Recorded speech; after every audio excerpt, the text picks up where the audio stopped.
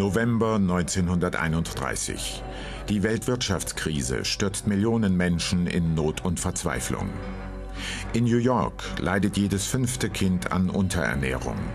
In anderen amerikanischen Großstädten fordern die Behörden Restaurantbesitzer auf, Essensreste von den Tellern zu kratzen und sie an Bedürftige zu verteilen. In Deutschland ist die Lage nicht minder dramatisch. Fünf Millionen Arbeitslose hätten für einen Job alles, aber auch wirklich alles getan. Und in Österreich, die Arbeitslosenrate schnellt Anfang der 30er Jahre auf 26 Prozent hinauf. In dieser verzweifelten Situation im November 1931 verließ die junge Sozialforscherin Lotte Schenk-Danzinger den Personenzug von Wien nach Grammat-Neusiedl, um mit der Forschungsarbeit für eine bahnbrechende Studie zu beginnen. Die Arbeitslosen von Marienthal. Eine Studie, die Wissenschaftsgeschichte schreiben sollte.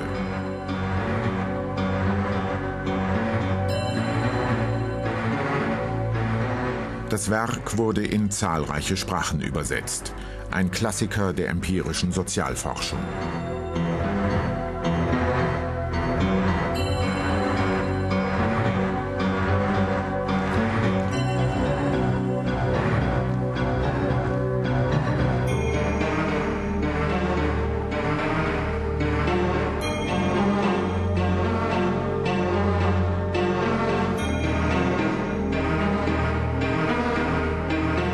Marienthal-Studie ist bahnbrechend. Eine Pflichtlektüre, ob man gebildet ist oder nicht, ob man politisch engagiert ist oder nicht, ob man sozial äh, interessiert ist oder nicht.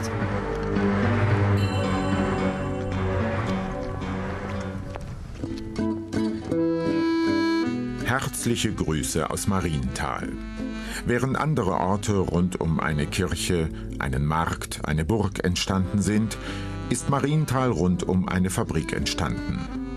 In den 1830er Jahren errichtete der Bankier Hermann Todesco, 20 Kilometer südlich von Wien, eine Baumwollspinnerei. Nach dem Bau der Eisenbahnlinie Wien-Bruck an der Leitha in den 1840er Jahren nimmt die Textilproduktion im Ort einen stürmischen Aufschwung. Vor allem aus Böhmen und Mähren ziehen hunderte Textilarbeiter und ihre Familien zu. Marienthal entwickelt sich zu einer Hochburg der regionalen Arbeiterbewegung. In den 20er Jahren des vergangenen Jahrhunderts blüht die proletarische Kultur und Körperertüchtigungsszene im Ort. Die Arbeiterkultur war damals außerordentlich ausgeprägt und hochentwickelt. Sie konzentrierte sich im Wesentlichen um zwei Bereiche, Sport und Theaterkultur. Ich weise hier auf die große und größte vereinsmäßige Organisation hin, den ASK Mariendal, der ja heute noch existiert. Er hatte zahlreiche Riegen, sieben Fußballriegen, drei Radfahrriegen. Es gab Ringer, Stämmer und Handballriegen. Es gab Radfußballriegen, Radreigenriegen. Es war also hier für jede Sportart etwas vorgesehen. Daneben gab es aber auch natürlich Musik, Gesang, Schauspiel. Es gab eine Theatergruppe, es gab eine eigene Arbeiterbühne. Wobei schon bemerkenswert ist, dass man nicht nur die Arbeiterliteratur auf die Bühne brachte, sondern auch Klassiker und insbesondere Opern und Operetten. Das heißt, es herrschte auch ein entsprechendes Orchester unter der Arbeiterschaft vor. Leopold Kopetzky kennt es noch aus eigenem Erleben, das alte Mariental. Seine Mutter hat als Weberin in der Fabrik gearbeitet, sein Vater als Heizer. Und wie sein Vater spielte auch Leopold Kopetzky beim ASK Mariental Fußball. Als Tormann.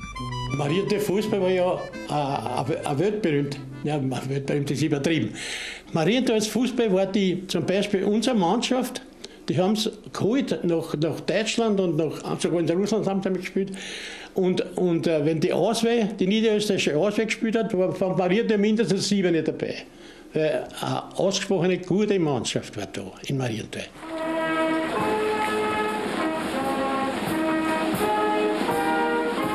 Es war eine in sich geschlossene Welt.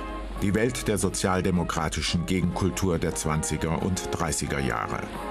Der 1. Mai, das war zu dieser Zeit noch ein echtes Hochamt der Arbeiterklasse und ein Volksfest dazu. In Marienthal konnte die Gewerkschaftsbewegung im Verein mit einer liberalen, vergleichsweise sozial eingestellten Fabrikantendynastie einiges erreichen. Die Geschichte unserer Fabrik ist eine bewegte. Aus der kleinen Flakspinnerei, in der unsere Kinder noch täglich acht Stunden arbeiten mussten, ist ein Großbetrieb geworden. Mit geregelter Arbeitszeit, kollektivvertraglichen Löhnen, und Werkswohnungen. Das ging nicht immer ohne Kampf.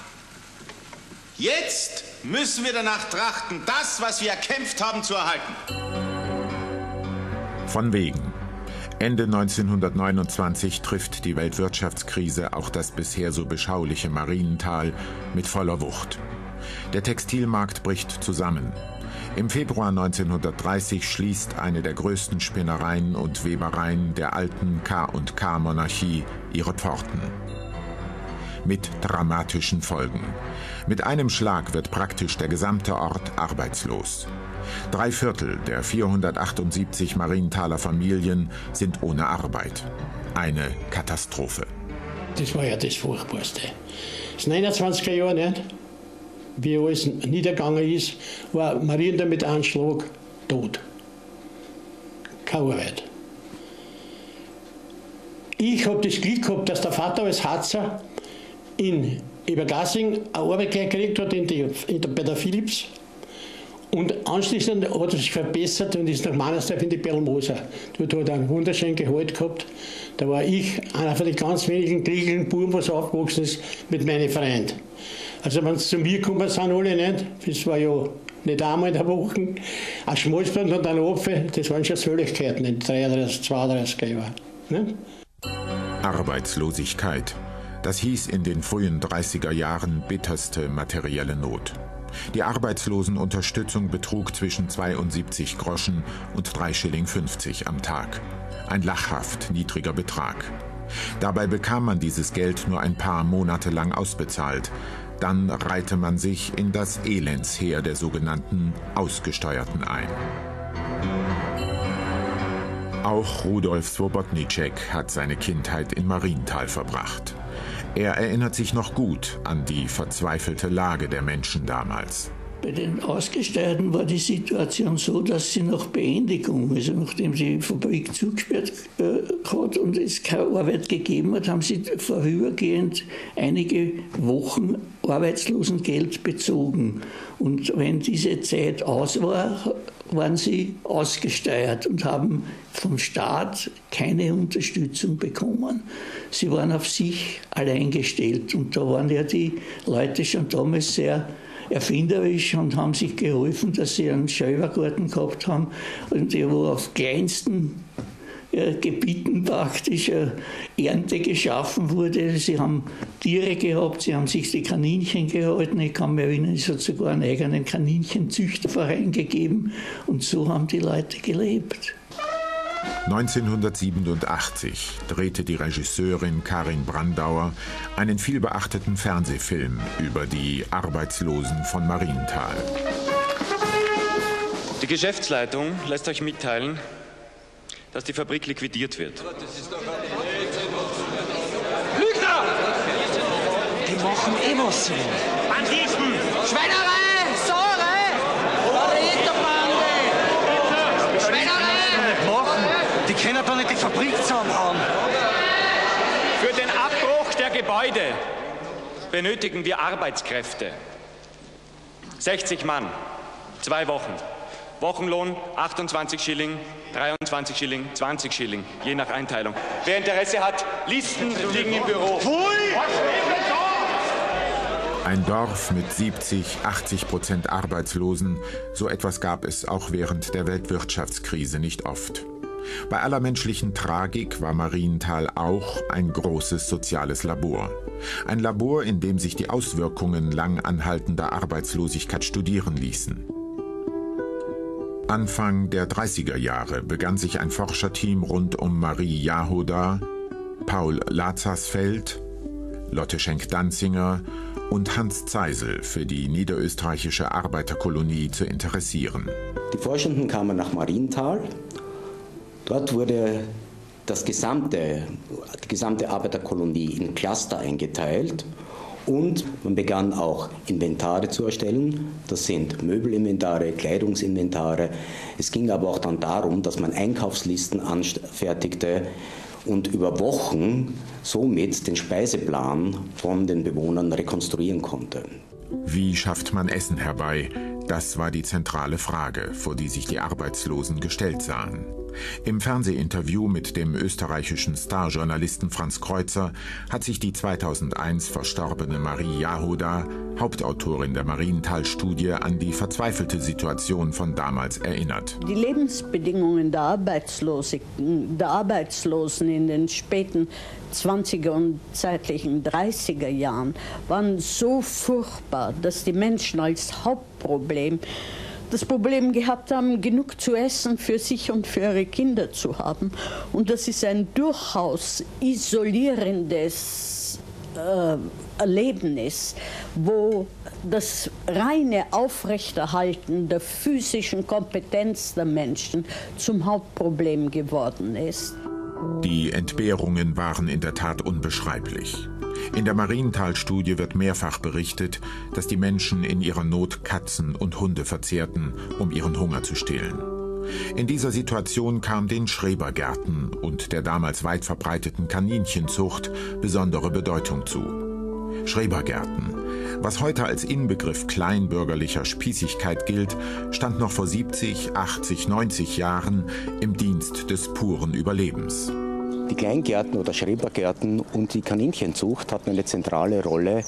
Sie wurden eigentlich zunächst für Marienthaler Bevölkerung nach dem Ersten Weltkrieg angelegt, um die Hungersjahre zu überwinden. Nach Schließung der Fabrik 1930 waren sie von außerordentlicher Bedeutung für die Bevölkerung Marienthals, weil es die einzige Möglichkeit war, dass sie an Frischgemüse über die Schrebergärten herankamen und an Frischfleisch über die Hasenzucht. Es war kein Zufall, dass die Kaninchenzüchter bereits vor dem Ersten Weltkrieg zwar nachweisbar sind, dass sie sich vereinsmäßig aber erst nach Schließung der Fabrik 1930 organisiert haben im Rasse-Kaninchenzuchtverein Vorwärts Marienthal. Die Ernährungslage blieb dennoch prekär. Eine der Folgen, die sieggewohnten Marienthaler Arbeiterringer konnten bei einer Ringmeisterschaft im Nachbarort nicht mehr antreten, weil dem Gegner kein ebenbürtiger Schwergewichtler mehr gestellt werden konnte. Auch die mittleren Klassen wiesen einen erheblich schlechteren körperlichen Zustand auf als ihre Mitbewerber aus anderen Orten.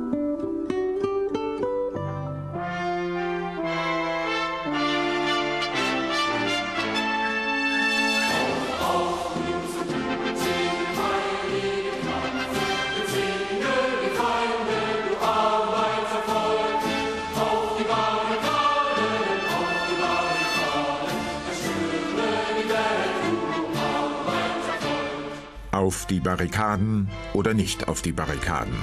Das war die große Frage Anfang der 30er Jahre. Brachte die Massenarbeitslosigkeit Resignation und Apathie über die Menschen oder animierte sie die Massen im Gegenteil zu revolutionären Taten? Diese Frage stellten sich viele während der großen Depression. Die Marienthal-Studie gab eine klare Antwort. Das wichtigste Ergebnis der Marienthaler Untersuchung war, dass es in der öffentlichen Diskussion, die zum Teil von Resignation und Apathie gesprochen hat, zum Teil von einer revolutionären Bewegung, eine wirkliche Antwort gegeben hat. Und die Antwort war Resignation und Apathie und nicht der Wille, die Welt und die ökonomische und soziale Welt radikal umzugestalten. Die zentrale Aussage der Studie ist zweifelsohne das, was man unter dem Stichwort müde Gemeinschaft heute international in der Sozialforschung verwendet. Müde Gemeinschaft heißt, die Grunderkenntnis ist jene, dass man durch langfristige Arbeitslosigkeit sozial wie auch politisch inaktiv wird. Damals revolutionär war die Erkenntnis, dass Arbeitslosigkeit nicht dazu führt, dass Leute in Richtung Politisierung und auch eventuell sogar Revolution, also radikale Änderung der sozialen Zustände tendieren, sondern dass sie weitgehend in einem eher unsozialen Desinteresse äh, an Politik wie auch an gesellschaftlichen Ereignissen enden. Das öffentliche Leben in Marienthal kam während der großen Arbeitslosigkeit weitgehend zum Erliegen. Die Entlehnzahlen der Arbeiterbücherei gingen zurück, die Theatergruppe stellte ihre Aktivitäten ein, auch der Herrenpark, einst der ganze Stolz der Marienthaler Bevölkerung, verwahrloste. Dazu kam der Zusammenbruch der Zeitstruktur. Die unbegrenzte Zeit, die keine Struktur hat, wo nichts wirklich geschehen muss, die unbegrenzte Zeit ist nicht Freizeit. Sie ist eine ungeheure seelische Belastung, die den Menschen nur zeigt, dass sie nicht gebraucht werden, dass sie mit ihrer Zeit nichts tun können, das irgendeinen Wert hat, die die Menschen dazu zwingt, sich als Ausgestoßene von der gesamten Gesellschaft zu fühlen. Und das führt zur Isolation, zum Zurückziehen auf den ganz kleinen Familienkreis und in sehr vielen Fällen natürlich auf arge menschliche Probleme innerhalb der Familie. Wo arbeitslose Menschen keinen strukturierenden Alltag mehr haben, geben viele von ihnen auch die Hoffnung auf ein besseres Leben auf. Sie halten die Gegenwart aufrecht, haben aber keine Zukunft. No future oder low future. Keine Perspektiven, keine Aussichten, keine Zeithorizonte, keine Hoffnungen und Wünsche für ihre Kinder. Die Kinder keine Weihnachtswünsche mehr, die Wünsche, die sie haben, werden nicht erfüllt.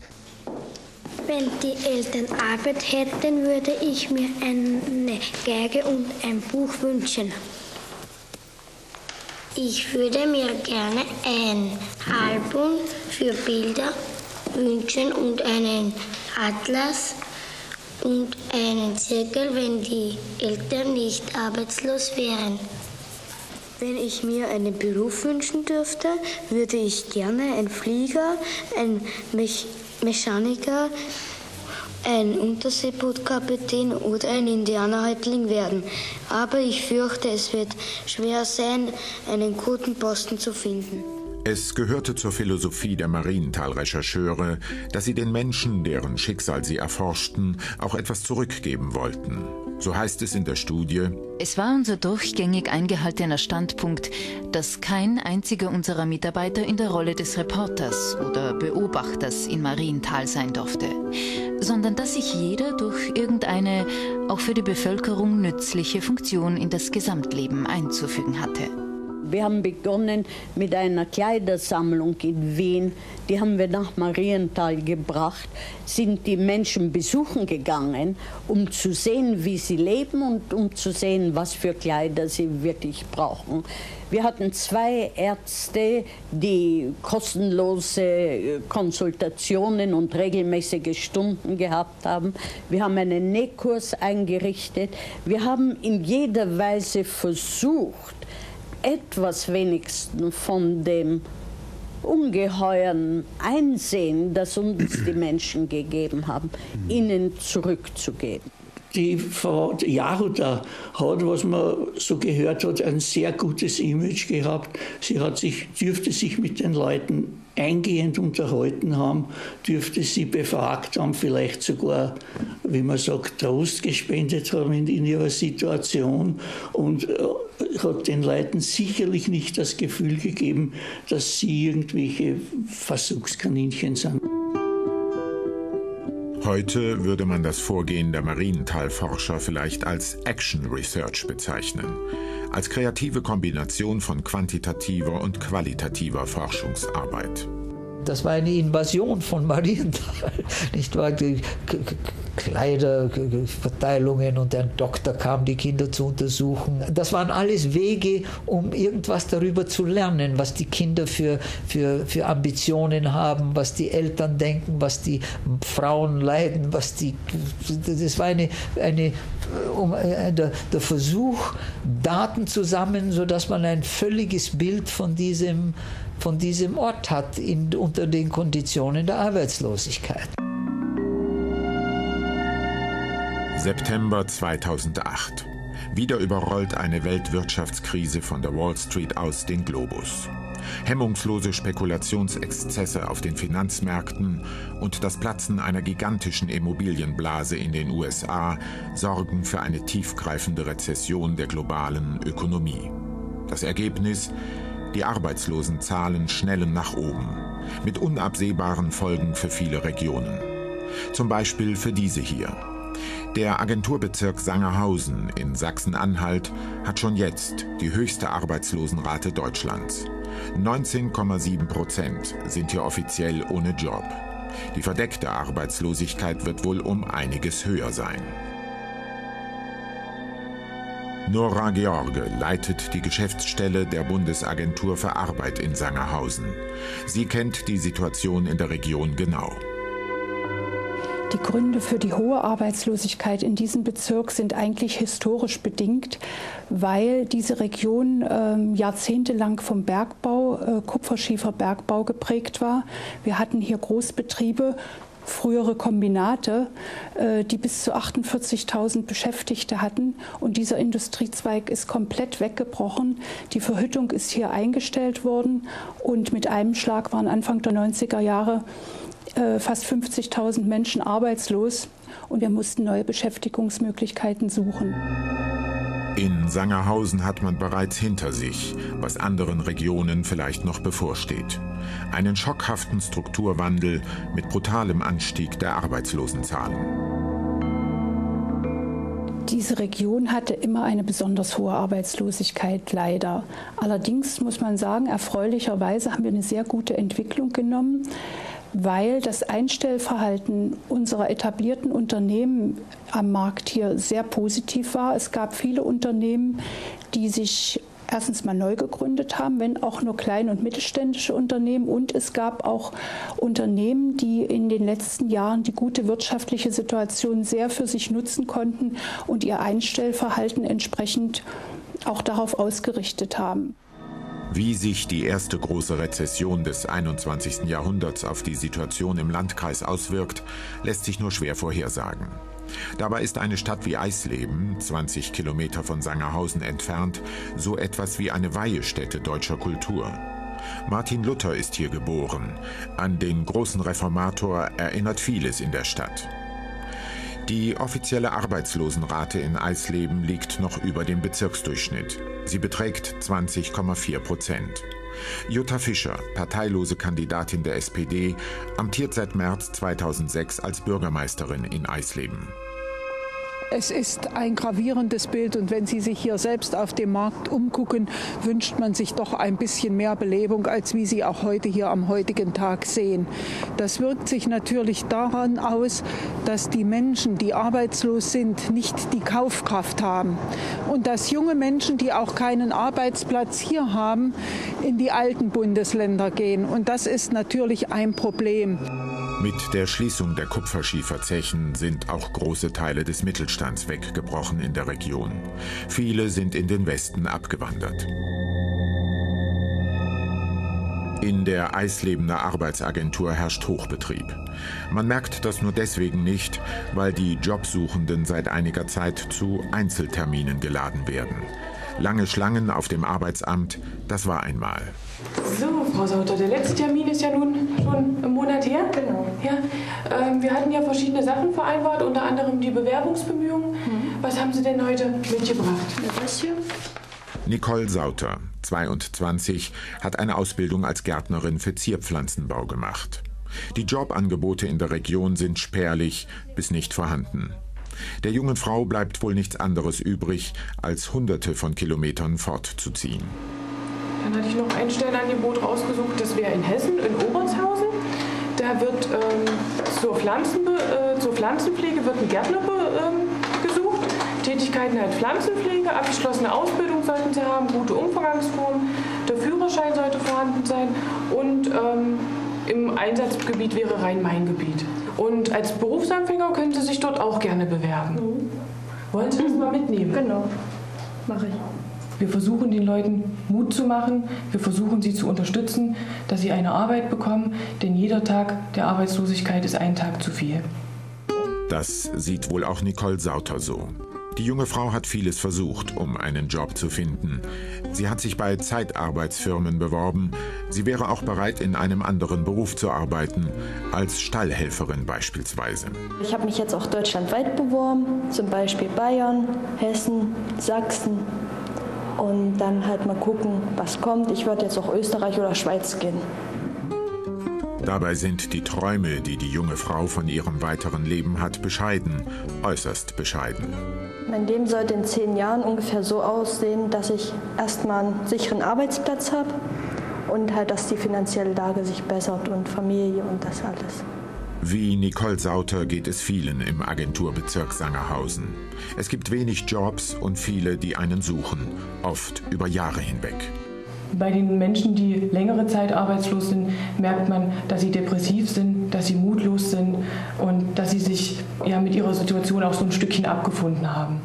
Lang andauernde Arbeitslosigkeit macht die Menschen tendenziell apathisch. Dieses Ergebnis der Marienthal-Studie trifft nach wie vor zu. Auch die gesundheitlichen Folgen längerer Erwerbslosigkeit sind nicht zu unterschätzen. Arbeitslosigkeit führt natürlich ganz besonders im mentalen Bereich zu Veränderungen, zu vermindertem Selbstwertgefühl, zu Antriebsschwäche in dieser Form so äh, eine Art depressive Verstimmung, die sich hier einstellt, was bei einem sozialen Wesen, wie es der Mensch nun mal ist, natürlich dazu führt, dass er in der Gesellschaft sich auch nicht mehr so wohl fühlt und auch Gesellschaft eher meidet, daher auch in der Folge sehr oft Vereinsamung, die eintritt. Edelgard Anger kennt die düsteren Seiten der Arbeitslosigkeit aus eigenem Erleben. Sie sucht seit Oktober 2008 einen Job. Dann habe ich mich noch als Imbissverkäuferin in Halle beworben, aber auch ohne Ergebnis. Und jetzt hoffe ich eben auf diese Stelle für den gestrigen Tag. Die 49-Jährige ist gelernte Kellnerin. Seit der Wende 1990 hat sie sich in den verschiedensten Berufen durchgeschlagen. Ute Kratzer, ihre Betreuerin, bemüht sich mit großem Engagement auch um diese Kundin. Viele Arbeitslose haben schon einige Rückschläge erleben müssen. Äh, das äh, sprechen Sie auch ganz konkret im Gespräch an. Ähm, da ist es nicht immer leicht, äh, für den Arbeitsvermittler anzusetzen. Wichtig ist, dass wir deren Selbstvertrauen wieder stärken, ihnen einfach Mut geben, ähm, damit sie wieder ja, die Initiative ergreifen, um wieder eine neue Stelle zu suchen. Für viele Betroffene ist genau das das Schwerste. Immer wieder von neuem die Initiative zu ergreifen. Eine Aufgabe, der sich viele nicht gewachsen fühlen. In der Arbeitslosigkeit ist man natürlich auch äh, suchtgefährdeter. Generell ist man gefährdet, äh, alles was Bewältigungsmuster sind für schlechte Stimmung und dazu gehört nun einmal Alkohol und auch andere Suchtverhalten, dass man das annimmt, um eben die Situation besser bestehen zu können.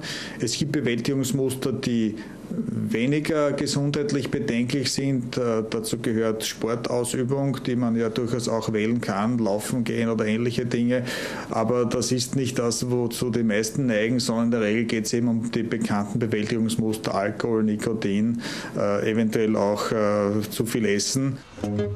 Bewältigungsstrategien, die Edelgard Anger nicht gewählt hat. Seit dem Ende der DDR hat die gelernte Kellnerin die verschiedensten Jobs ausgeübt. Sie hat als Imbissbudenbedienung gearbeitet, als Produktionshelferin, als Zimmermädchen. Keine der Anstellungen war von Dauer. Entweder der Job war von vornherein nur befristet oder der Arbeitgeber hat Konkurs gemacht.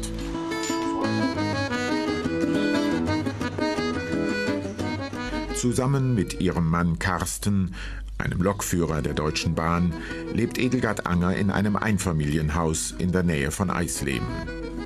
Die Kredite für das Haus sind noch längst nicht abbezahlt. Ein zweites Einkommen würde manches erleichtern. Man geht auf die 50 schrittweise zu und es ist nicht mehr so einfach, dem Arbeitsamt in diesem Alter was zu bekommen. Vor allem die meisten Jobs, die in angeboten werden, was man gerne ausüben möchte, steht drin höchstens bis 35. Ja, was wollen wir tun? Ne? Mit 49 soll man da sich zum alten Eisen zählen. Das möchte ich einfach nicht. Ich möchte einfach noch arbeiten, auch wenn ich 49 bzw. jetzt auf 50 gehe. Wie viele Arbeitssuchende aus dem Osten Deutschlands ist auch Edelgard Anger bereit, ins Ausland zu gehen, um einen Job zu finden. Zuletzt hat sie in Österreich gearbeitet, und zwar als Zimmermädchen in einem Vier-Sterne-Hotel auf der Turacher Höhe, einem Skigebiet in der Steiermark. Die Arbeitsbedingungen waren skandalös, wie so oft im Fremdenverkehr. Was natürlich sehr negativ war, das war die Verpflegung. Es hieß, wir bekommen Essen früh, Mittag, Abend. Früh bekam ich ja nicht, weil da musste ich arbeiten und ab um 10 war der Frühstücksservice vorbei. Äh, dann habe ich ähm, Mittagessen, durfte man ab um 15 Uhr. Dann haben wir drei, vier Tage, war das Essen eigentlich schon drüber weg. Also es war schon alt.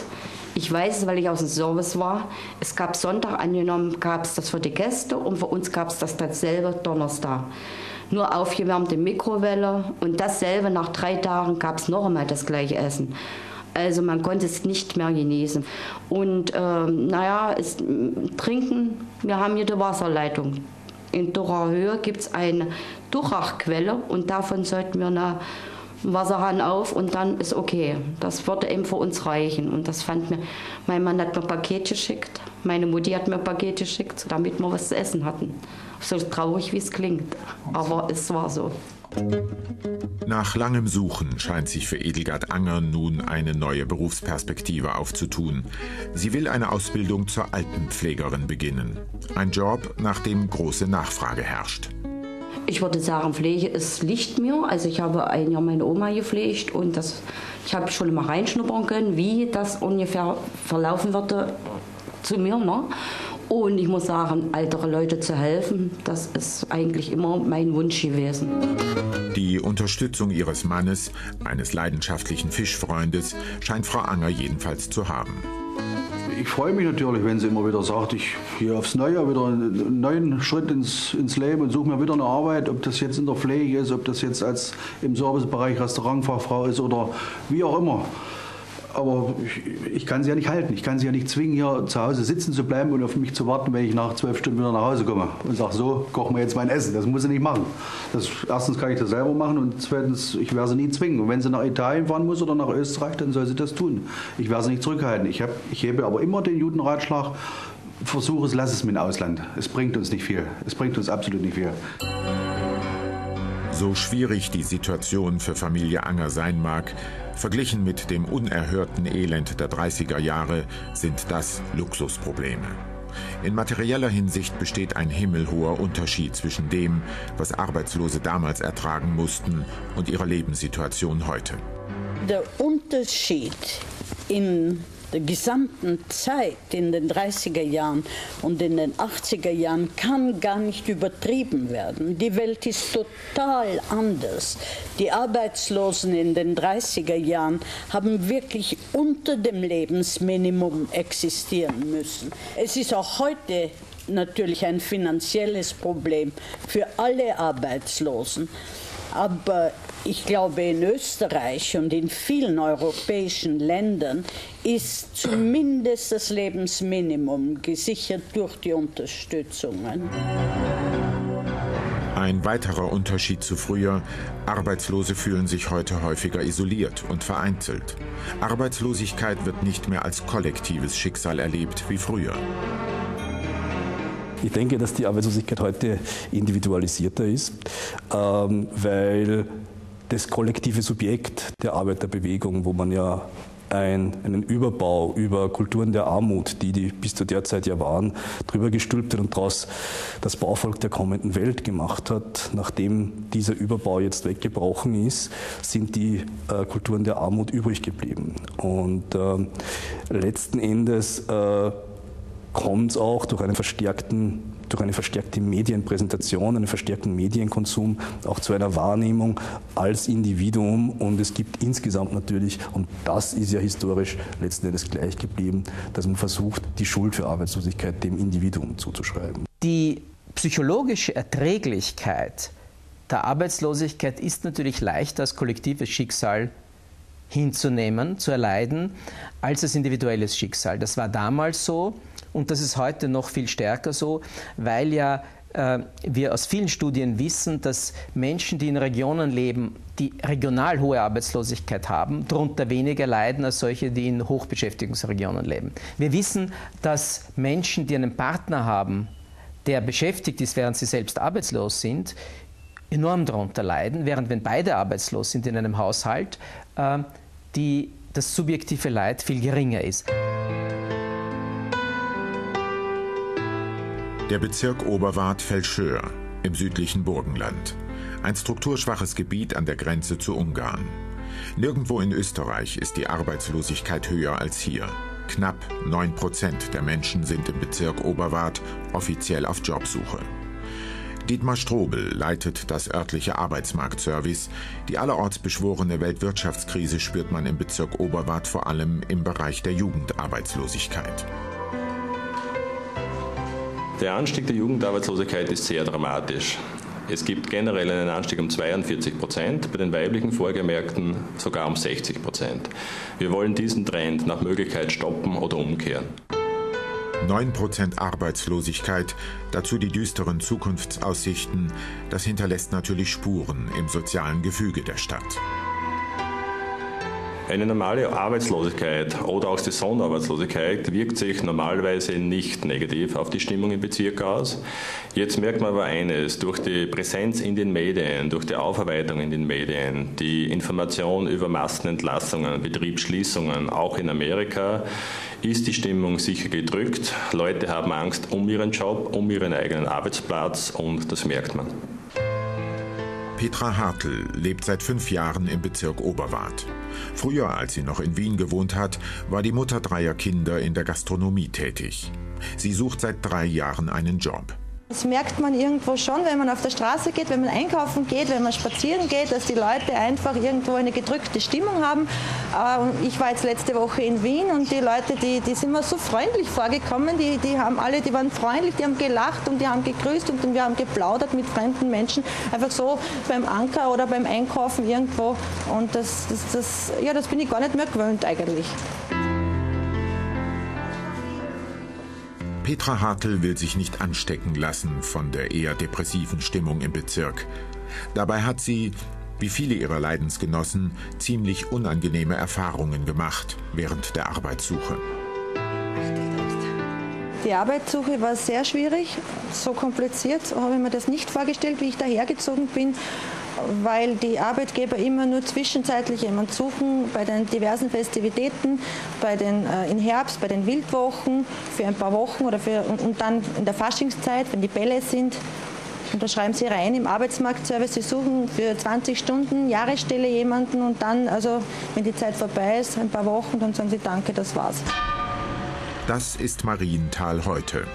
Obwohl Marienthal als selbstständigen Ort gibt es gar nicht mehr. Die frühere Arbeiterkolonie ist längst im ehemaligen Bauerndorf Grammat-Neusiedl aufgegangen.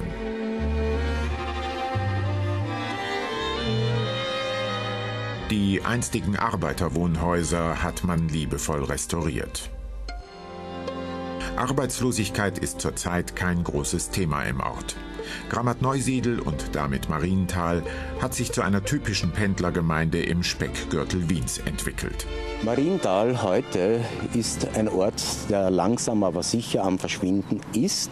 Das hängt damit zusammen, dass die letzte Generation der Marienthaler Textilarbeiterschaft ausstirbt.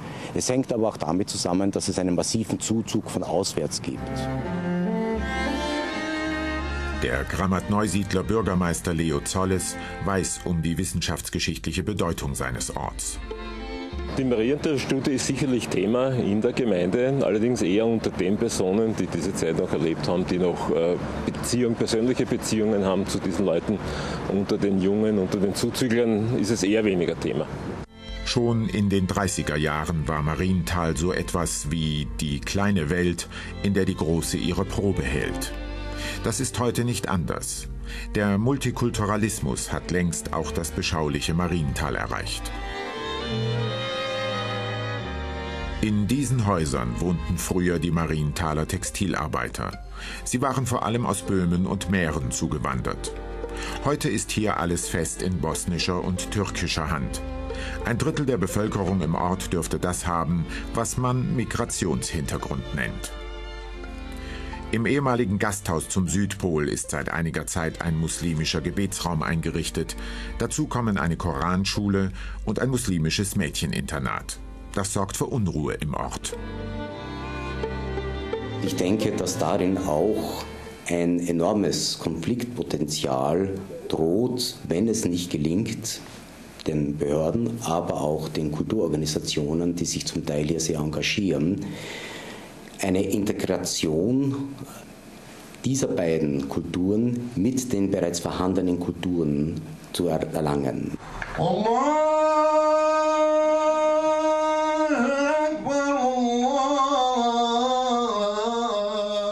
Während des Freitagsgebets ist der Zeremoniensaal im früheren Arbeitergasthof zum Südpol zum Bersten gefüllt. Früher tranken hier die tschechischen Textilarbeiter nach Schichtschluss ihr Bier, heute treffen sich die örtlichen Muslime zum Gebet. Die meisten von ihnen sind Arbeiter. Sie pendeln in die großen Industriebetriebe der näheren Umgebung aus, nach Wien oder Wiener Neustadt. Noch haben die meisten einen Job. Was niemand vorhersagen kann, wie sich Arbeitslosigkeit, Massenarbeitslosigkeit auf migrantische Milieus auswirkt. Großfamiliäre Strukturen werden hier noch hochgehalten. Das bietet einen gewissen Schutz, auch wenn man seinen Job verlieren sollte. Die dramatisch steigende Jugendarbeitslosigkeit allerdings könnte zum Problem werden. Sollten junge Migranten in großer Zahl keinen Job mehr finden, sind explosive soziale Entwicklungen denkbar, die man sich heute noch gar nicht vorstellen kann. Der Hodscha der Marienthaler Muslime ist vor allem um ein gutes Verhältnis zur alteingesessenen Bevölkerung bemüht.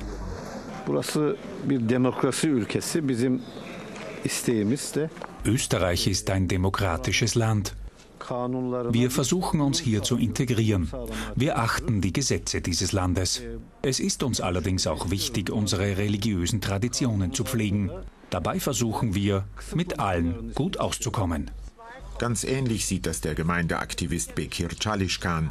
Gute Nachbarschaft sei einfach wichtig. Wir machen jeden, jedes Jahr einmal Tag der offenen Tür. Gibt es hier Kebab, türkische Spezialität, essen wir, trinken und miteinander reden. Und es kommen viele Österreicher? Viele, viele fast Hälfte Österreicher.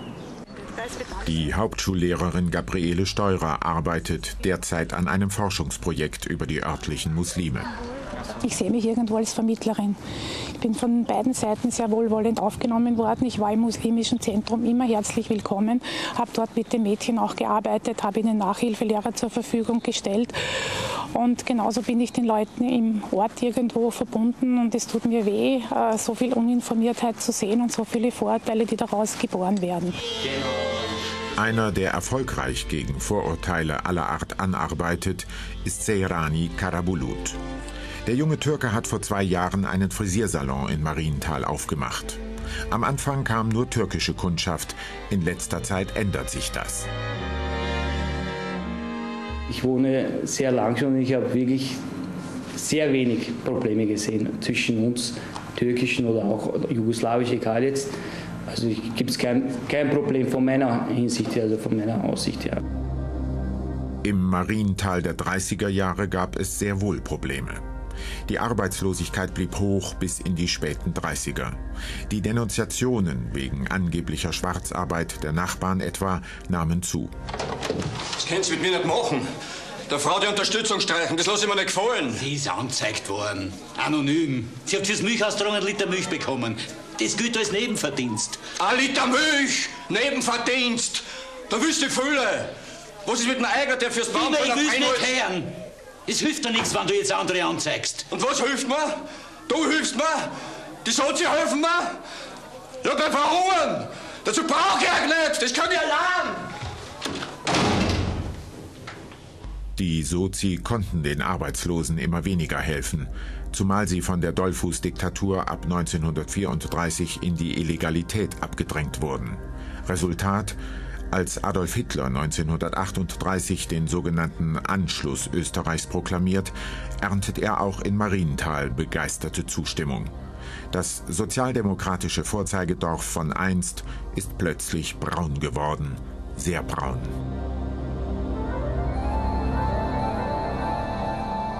Die große Not hat nur der Hitler des, deswegen niederdruckt, weil er Arbeit gebraucht hat.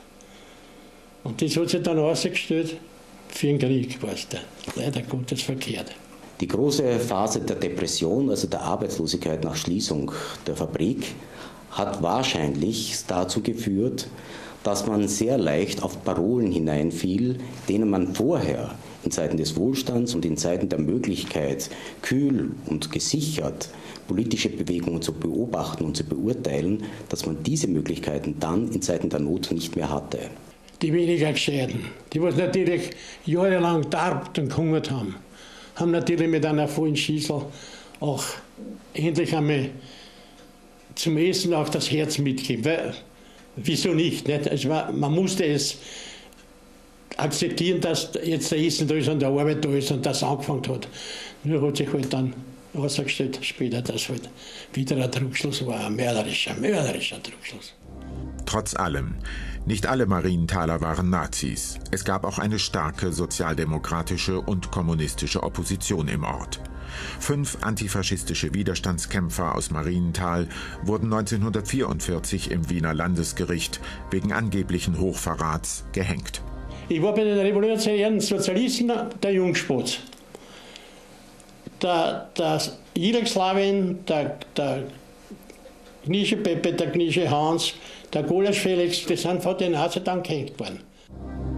Auch Leopold Kopetzky engagiert sich im Widerstand gegen den Nationalsozialismus und riskiert sein Leben dabei. Der Bettel war der 21. Und der hat die, die Spendenlisten gehabt für die Jungsozialisten und für die Spenden. Und mit der haben sie dann erwischt. Die Spendenlisten habe ich dann ein Jahr gehabt. Weil da war alles aufgeführt. Na, was heißt, erwischt, aufgehängt.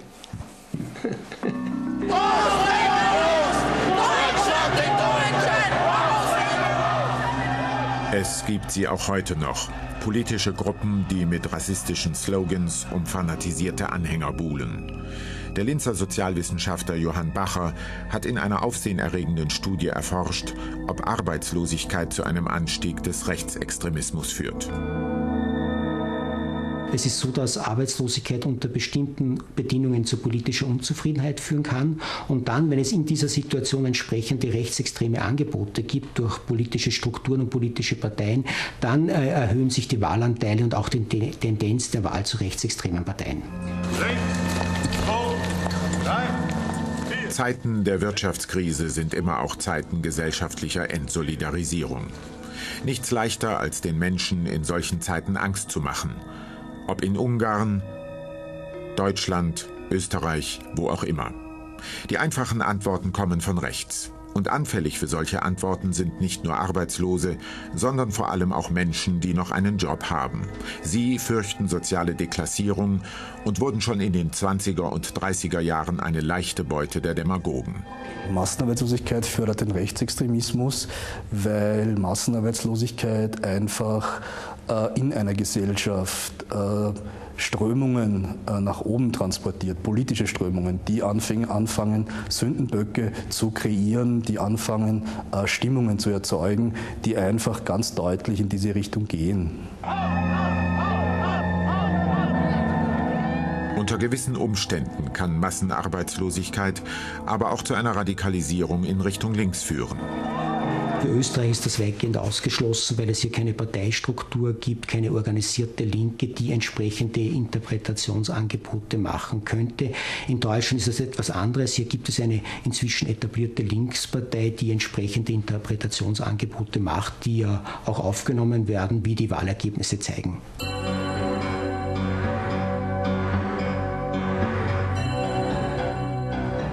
Depression der 30er Jahre hält wertvolle historische Lehren bereit. Zuerst fielen die Schornsteine, dann kam das große Elend, materiell wie psychisch. Es war erst die Massenarbeitslosigkeit nach dem Börsenkrach von 1929, die den Nazis die Bahn ebnete und den Weg in die Katastrophe des Zweiten Weltkriegs freimachte. Wenn man an die Wirtschaftskrise denkt, in der wir uns jetzt befinden, sollte man bedenken, dass den goldenen 20er Jahren sehr rasch die schlechten 30er und dann die kriegerischen 40er Jahre gefolgt sind.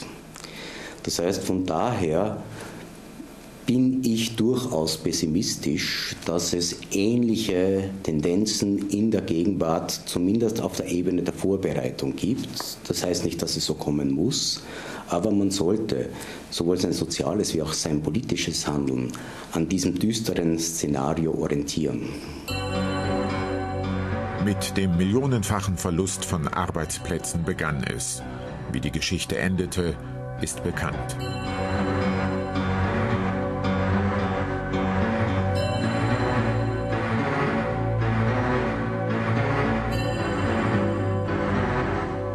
Marie Jahoda, die große Sozialforscherin, wusste es. Es ist vor allem Lohnarbeit, auch entfremdete Lohnarbeit, die dem Alltag von Millionen Menschen Sinn und Struktur gibt. Eine geregelte Arbeit, die nicht nur von der eigenen guten Laune abhängt, ist, glaube ich, für die meisten Menschen eine ungeheure psychologische Hilfe, um einen Sinn aus ihrer eigenen Existenz zu machen.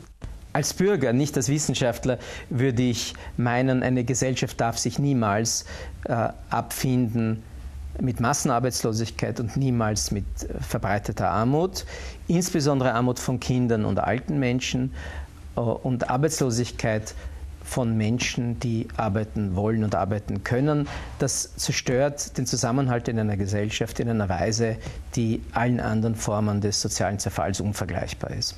Stimmt an das